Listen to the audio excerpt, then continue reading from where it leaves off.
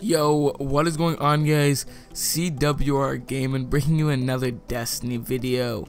And in today's Destiny video, I do have my Nightfall rewards, and it was actually a really good week. It was Shield Brothers, and of course, everyone hates that strike because it's always a pain at boss. But you know, hopping right into my first rewards, I did actually get the almighty Hawkmoon!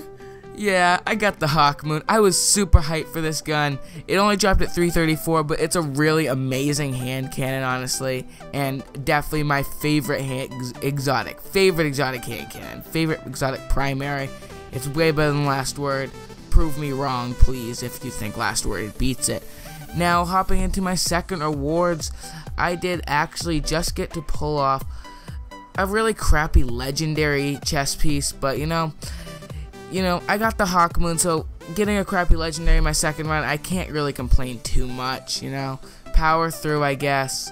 But that is pretty much it for the video, guys. It was a really quick video today. If you guys could take two seconds to like the video down below, that would be insane. Make sure to subscribe if you are new for some daily Destiny videos. And as always, I will see you in the next video. Peace.